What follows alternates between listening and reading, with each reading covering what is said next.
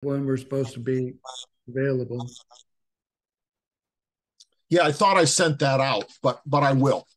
Okay.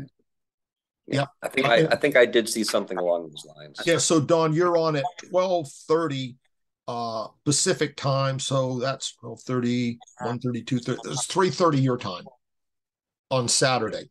Okay. Yeah, the, the schedule was on the on the bottom of the email. Okay.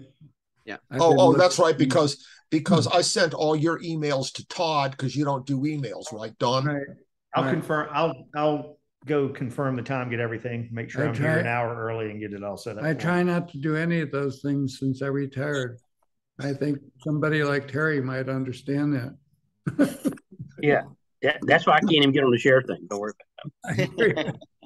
So I'm going to start with you on Saturday, Terry, and I'll tell you all about the drag racing episodes. There were some stunning things. I'm not anxious to hear it, especially the FX cars. Uh, the the forerunner to the funny car. That was way cool.